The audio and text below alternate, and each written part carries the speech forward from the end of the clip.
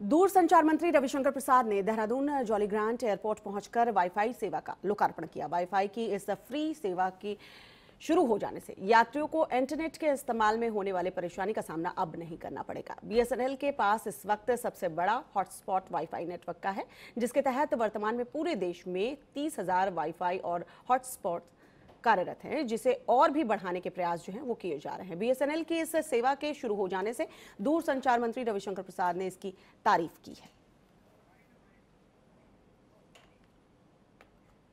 आज से BSNL fibre to the home, F की सुविधा उपलब्ध रहेगी।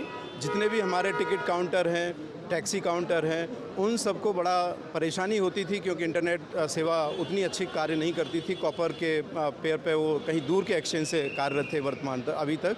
बट आज के बाद एफ़ में 100 एम तक की स्पीड के साथ में इनका इंटरनेट दौड़ेगा।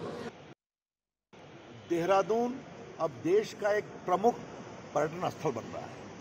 मुझे एयरपोर्ट डायरेक्टर ने बताया कि तेईस से अधिक फ्लाइट्स आती है। यहाँ बहुत सुंदर बर्फ़ पड़ी है, बहुत ही प्यारा प्रदेश है।